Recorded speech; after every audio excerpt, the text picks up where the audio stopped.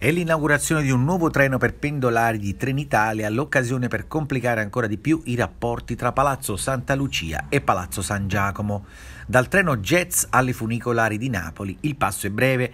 I trasporti, ovviamente, il terreno individuato dal governatore Vincenzo De Luca per riattizzare la fiamma dello scontro con il sindaco De Magistris.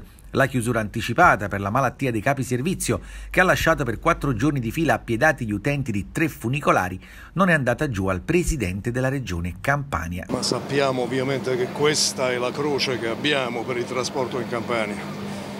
La croce è la città di Napoli dove l'azienda di proprietà del comune di Napoli continua a versare una situazione di crisi drammatica Devo dire francamente che mi colpisce molto il fatto che non si riescano a tenere attive neanche le funicolari. E che diavolo, io posso capire i problemi aziendali, ma almeno la funicolare e teniamola aperta. Non mi pare un grandissimo impegno.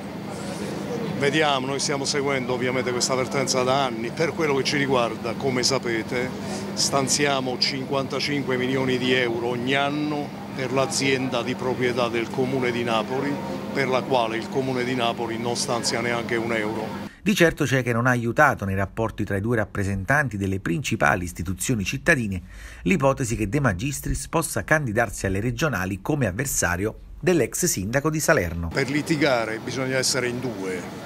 Per adesso c'è uno solo che lavora, quindi è difficile litigare. Con chi devo litigare? Dopodiché non c'entra assolutamente niente rapporti, relazioni, c'è un'azienda di proprietà del comune per la quale il comune deve preparare un piano aziendale, punto. Se lo prepara bene, se non è in grado di farlo male.